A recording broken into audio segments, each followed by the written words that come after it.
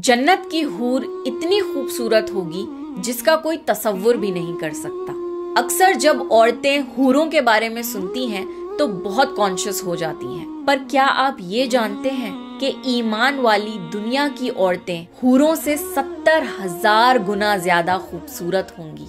क्योंकि दुनिया में रहकर ईमान वाली औरतें अल्लाह की इबादत करती हैं, अल्लाह के लिए रोज़े रखती हैं, नमाजें पढ़ती हैं और अल्लाह की हदों में रहती हैं।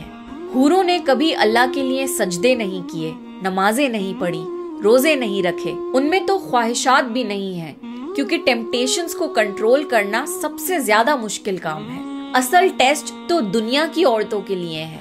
इसी वजह से अल्लाह दुनिया की औरतों को अपना नूर देगा, जिसकी वजह से वो हूरों से भी कई हज़ार गुना ज़्यादा खूबसूरत होंगी, और हूरों की भी हूर होंगी।